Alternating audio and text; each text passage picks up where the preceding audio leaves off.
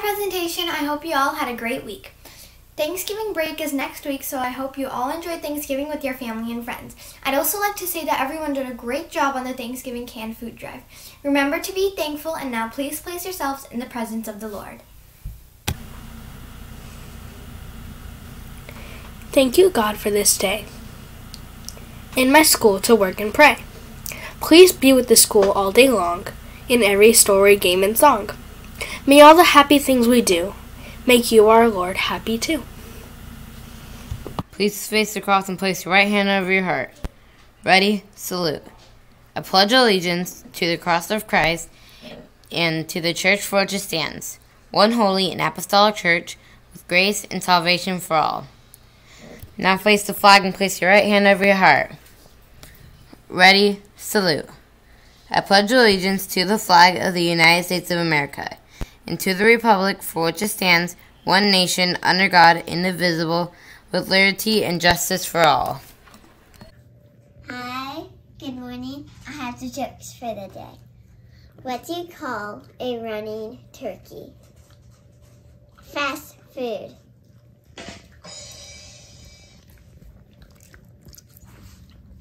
What side of the turkey has the most feathers?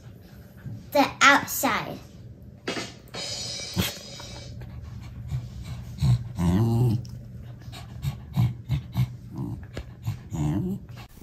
Why didn't the turkey eat dinner? He was already stuffed. What's the turkey's favorite dessert? Peach gobbler. Hey, presentation, and for the, today's art corner, we'll be drawing the, a turkey. Okay, so all you need is a pen, and it's basically just like four steps. The first step is put your hand and outline your hand. Just outline it with your hand. It's the easiest way to make a turkey. Okay, when you're done, you're, we're gonna draw head. Uh, my head is bad, but you could do whatever you want for the head. Like, you could draw it on here. Actually, it's better. I'm gonna draw it on here. It's the easiest. And then draw the head, and then draw the draw the feet, and you're basically done. If you want to add some like feathers, if you want to add some feathers, you can. Like how I'm doing. But yeah, you could do this anytime, so.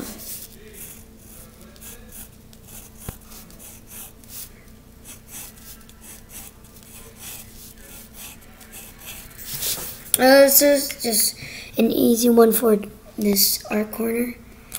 So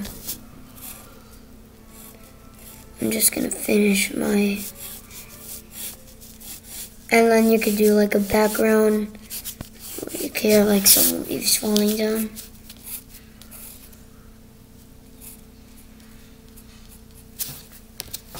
You could do like a lot of stuff. But yeah. So this is what you should end up with. It's a really easy step and you can do this whenever you want. So see you next time. Bye.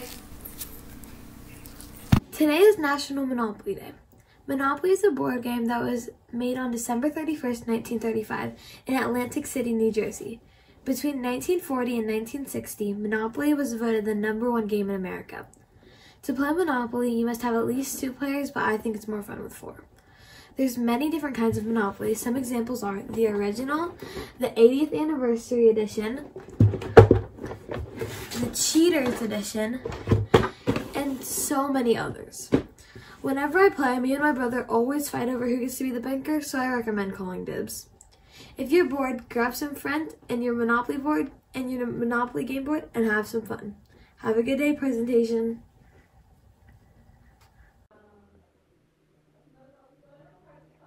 Morning presentation, I'm going to give you some COVID reminders. Please remember to stay six feet apart, wear your mask at all times, and wash your hands before and after eating. If you're feeling sick, please stay at home. Thank you and stay safe. Good morning. You're here with your VP on Coffee Talk. We talking coffee, we're talking art, we're talking Friendsgiving. Because, P.S., long story short, I have a friend came all the way from Russia to be with you here today. Okay, so let's give a warm welcome, all my friends out there. Yes, I see you. Yes, I see you. All my friends out there, let's give a warm welcome to my friend from Russia, Yoskov. Hello, and guess what? I seeing you too. Yes, we see all of you friends out there. Good morning. Good morning. Enjoy your coffee. It's Oh, delicious. It is delicious. Mm, we You know- love coffee. Mm, indeed. You know, in homeland, in Russia, we don't have coffee mugs. Oh. We just hold coffee in bare hand to make us strong, like Russian turnip. Oh, yes, very strong. That sounds awful, but I believe it. Okay, well, let's get right to it. I invited my friend from Russia, first of all, because we're going to have a Friendsgiving. Yeah, you know, Friendsgiving's amazing. We get together and we have our, eat our meal and we sit and we talk, obviously, about coffee. Coffee. Obviously. Welcome to Space Needles. Yes. So we're going to have our Friendsgiving, and it's just a really special time for us. And it actually makes me very emotional that he came all the way from Russia for our Friendsgiving. Just a minute. Why are Americans so emotional? Well, hold on. I'm getting a little verklempt here. So while I take a moment, I'll give you a topic. Thanksgiving is neither or could be both thanks or lots of giving. Discuss. Lots of discussions. Okay. Well, I'm okay now. Okay. Here we go. Back to why we started. We're starting to talk about Wesley Kandinsky. That's right. He is your artist of the month of November. And we got our very special guest. He knows all about Wesley. So I'm going to ask him a few questions and see what he knows. Okay, yo, Scuff. So, can you please tell me a little bit about Wesley Kandinsky? Well, Wesley Kandinsky was born in 1866 in Moscow, Russia. Ironically, that is where my uncle Yoshkev got slapped by a bear. He enjoyed listening to music and learned to play the piano and the cello. Oh. He went to college to become a law teacher, much like my great grandpa, who also got slapped by a bear. But at 30 years, decided to change careers and become an artist. Oh my gosh, I can't believe it. Can you believe it? A lawyer all the way to a painter. Duh. How wonderful. So, he must have had a lot of influences. Can you tell us a little bit about what influenced his art? Well, Kandinsky's first art pieces were influenced by Impressionism, Pointillism, and Fauvism, like the Blue Rider painted in 1903. Later, his work was influenced by abstract art, like yellow, red, and blue, and color study.